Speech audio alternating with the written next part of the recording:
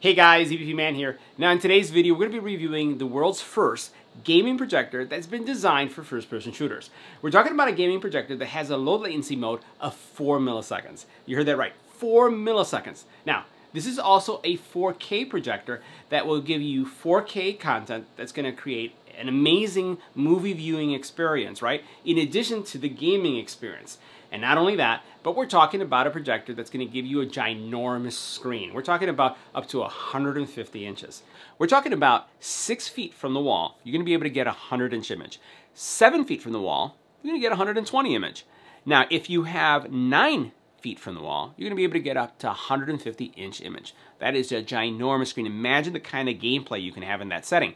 But not only are we talking about gaming, we're also talking about movie viewing because you're going to get fantastic image quality coming from the light source from this projector. And you'll see this throughout um, this video how no matter what the lighting situation is, windows open, windows closed, uh, you'll see that I have a great image being projected from this projector just feet away from my screen.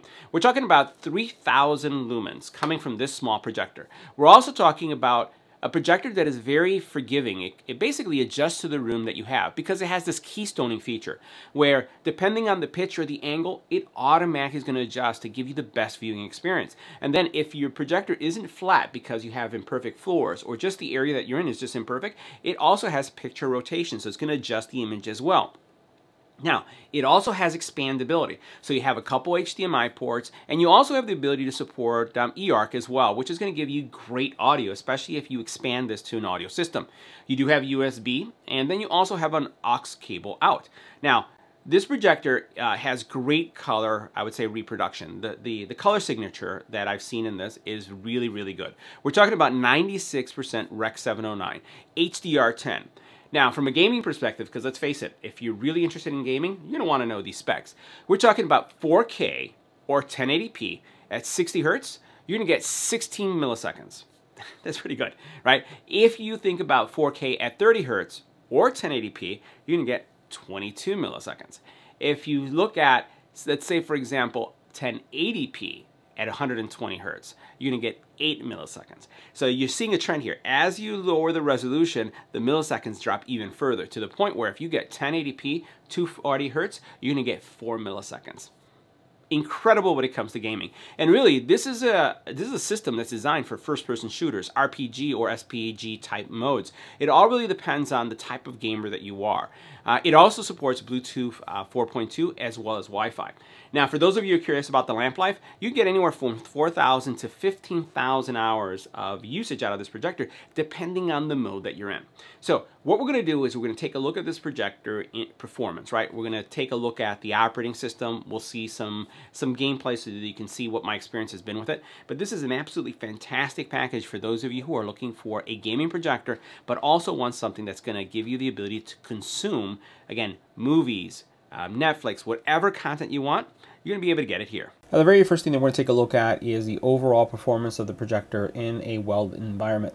And what you have here is, again, blinds fully open. I have six windows, and you'll notice that where the projector is sitting, it's, it's very bright. There is really no uh, lighting, no recording lighting going on. This is just how bright this room is. And you can see that this projector is doing fantastically well. Even with some uh, of the dark scenes, you can see how much uh, black levels, uh, how they're uh, presented here. And then you can see the white levels themselves. Now, once we start moving into a, a closed blind, so uh, I just closed the blind, still same time, literally this is just minutes apart and you can see how much the colors pop as soon as we close those blinds. Uh, great performance again, still same position. Now, um, and there's also still a light source behind me, so my kitchen is actually behind me in this case. Now this next shot is basically switching to complete darkness. And in complete darkness, this is pretty much nighttime outside, doesn't matter if the blinds would be open or closed because there's no light source coming from the outside but you get a fantastic, fantastic image that has great deep levels of black. Your colors are vibrant. Um, you know, the reds uh, pop, blues, greens, everything is just uh, fantastic when it comes to this. And then as we go into the gaming, you're going to see how well it looks too. Now from a gaming experience, we tried a variety of games just to see what the lag, if anything, uh, was present. Uh, we tried first-person shooters, we tried action uh, plays, we uh, tried some some that were like very dark in nature, some that were very bright and colorful. And we found that all in all, the experience was extremely positive in every single game situation. Now, the only thing I would say that I would consider upgrading is going to be the audio. While this does well in a various settings, day, night, day, night, you know, blinds open, blind closed kind of situation, uh, still I found that the audio, while it's great for a small room, I really prefer big sound, much bigger sound. So that eARC uh, capability as well as the Bluetooth is going to give you the ability to have a more immersive game experience. But again, uh, this, this is just an all-around great projector. Now, as you can see here, I am running my BenQ projector in a very well-lit environment. Uh, it's actually daytime. I have six windows and we've kind of like zoomed into the menu area so that we can uh, just go ahead and go through some of the configuration options that you have here. Now I am using a ALR screen. This actually happens to be an Elite Screen um, ALR or CLR as they would refer to it that is rejecting uh, light from the left and the right, right? But it's still able to uh, accept the light that's coming from the BenQ projector, which is relatively um, a short distance away. We're looking at a 123 inch screen here and the projector could actually go a little bit larger. Um, I just pulled it back a little bit because I find that it's easier for me to adjust and get all the corners nicely filled as opposed to being a little bit closer, um, which would still fill, this, fill the screen, um, but it would be a little bit more challenging for me to adjust it with the actual focus and the zoom lens. So what you're seeing here are some of the modes that are available um, in the projector and uh, when you go into it, at the very bottom, the menu comes up and you have HDR10, you have game mode, and it does change. It makes things a little bit lighter, in my opinion, um, as you go through each one of these, right, going from, from mode to mode. So I actually um, have been preferring the HDR10 mode um, in this.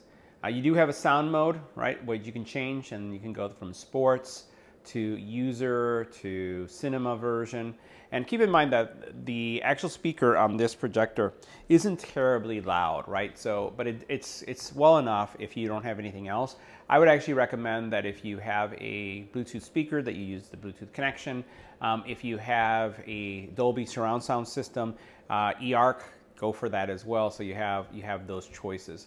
Uh, again, and you also have a music um, or game mode um, as one of the settings that you can have there. So I'll leave it where I was in the sports area.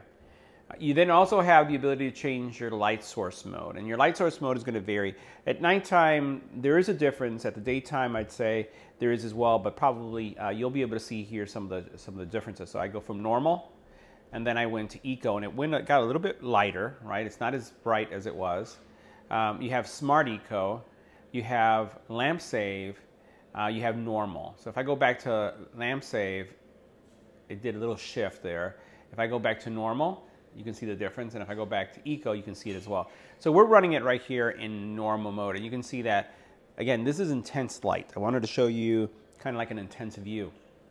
You have 2D keystoning.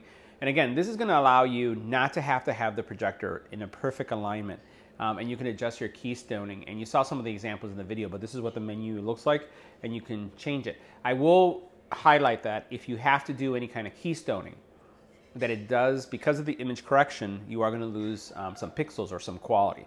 So I'd recommend that try to get the best um, alignment you can prior to resorting to any of the automated alignment options, right? Uh, you then also have over here, if we go up, uh, you also have some HDR brightness options that you have. This is pretty much factory uh, settings. I'll go one step up so you can see the difference. So it does get a little bit of a pop. If I go back, it doesn't. And if I go lower, you can see how it's getting a little bit darker. But this is where it's at, but this is how much you can pop it. And at night, you know, it does, it does uh, pop even more information and then you could switch the menu from being a basic menu to an advanced menu as well. Now this projector runs really, really quiet. I just wanted to share with you kind of like what's the sound level of the house. So we're gonna go ahead and bring this into focus. And I'm gonna stay quiet so you can see how much noise there is. Okay, now let's go ahead and we're gonna put it right by the fan and check this out.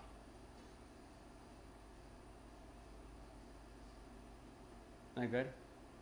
So it's not going to make any real distinguishable noise to you if you're using this.